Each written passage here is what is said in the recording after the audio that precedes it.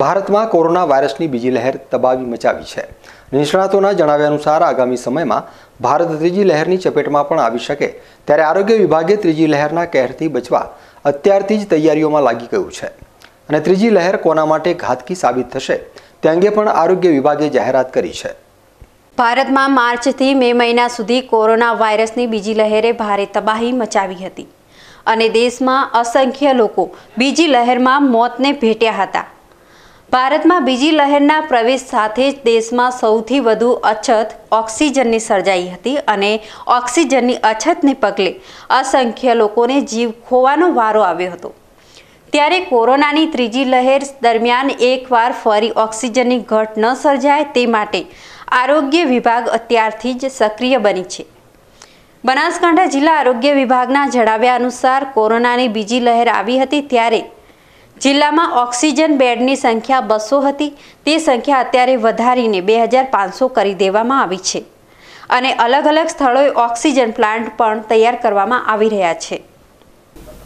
જે નિષ્ણાતો આપણા દેશના કહી રહ્યા છે કે ત્રીજી વેવ ઓગસ્ટ અથવા છેલ્લા ઓગસ્ટના છેલ્લા વીકમાં અથવા સપ્ટેમ્બરના પ્રથમ વીકમાં આવશે. તેના ભાગરૂપે આપણે લગભગ બે મહિનાથી તૈયારી કરી રહ્યા છીએ કે ગઈ વખતે આપણને સેકન્ડ લેયરમાં ઓક્સિજનની તકલીફ પડી હતી, બેડની તકલીફ પડી હતી. તે બધી તૈયારીઓ પૂર્ણ કરવા આપણે લગભગ ગવર્મેન્ટની બધી ફેસિલિટીમાં આપણે સેન્ટ્રલ લાઇન નખાવી દીધી છે.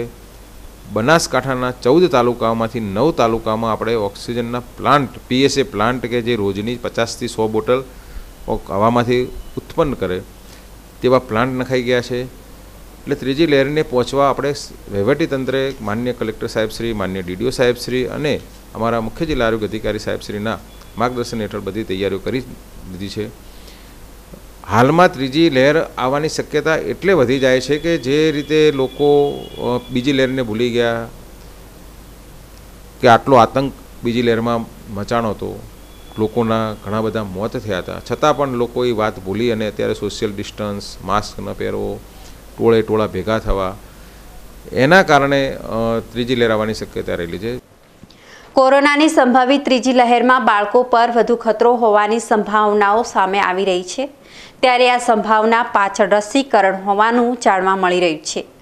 બનાસકાંઠા જિલ્લાના અધિક આરોગ્ય અધિકારી જણાવી રહ્યા છે કે અત્યાર સુધીમાં અઢાર વર્ષથી વધુ ઉંમરના લોકોને જ વેક્સિન આપવામાં આવી રહી છે અને તેના લીધે બાળકો વેક્સિનથી વંચિત હોવાના લીધે ત્રીજી લહેર બાળકો માટે જોખમી સાબિત થઈ શકે તેમ છે.